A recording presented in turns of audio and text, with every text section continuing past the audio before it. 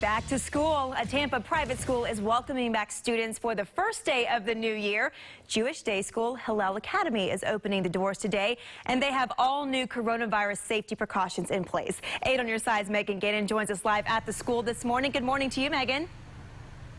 Hey, good morning, Avery. Yeah, so actually, I spoke with the head of school here at Hillel Academy, and she said with all the new changes they have in place, they really wanted to make this first day of school really special and fun for all the students. So if you take a look right here, you can see these colorful balloons being set up right in front of the school where the kids are going to walk through. They've got the sign there telling them to sanitize, making sure they have their masks on.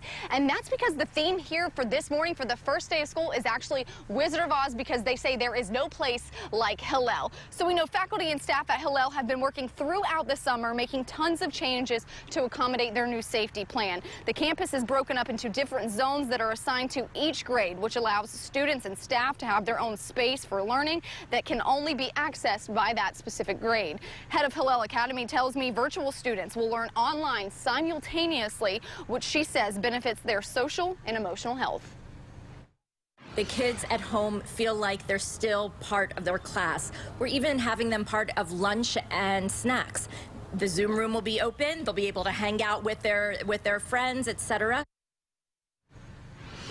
Now we're told there is a total of 160 kids enrolled here at Hillel Academy. Today for the first day of school and in-person learning, they're expecting around 148 students to be here on campus and the rest will be online learning. Reporting live in Tampa this morning, Megan Gannon, 8 on your side.